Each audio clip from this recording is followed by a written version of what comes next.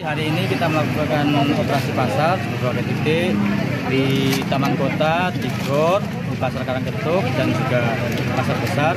Ini kita lakukan dalam rangka untuk menekan harga beras yang selama ini di Kota Pasuruan harganya naik.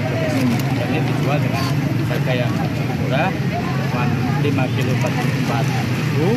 Ini harapannya bisa menekan eh, harga di pasaran.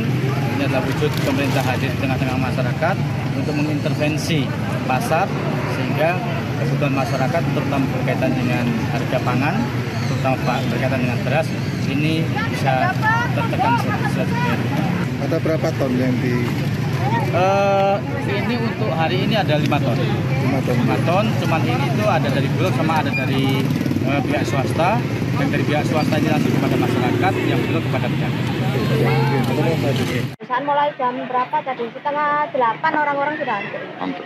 Berapa dapat berapa kilo? Hanya dapat 10, sak, eh, 10, eh, 10 kilo dapat dua sak itu. Satu saknya 5 kilo. Gimana Bu perasaannya ada jual Eh, beras murah ini? Iya, karena kan kalau eh, biasanya kita belinya 5 kilo itu 65 ribu. Karena ini hanya 44, Alhamdulillah senang gitu. Banyak antusias warga gitu.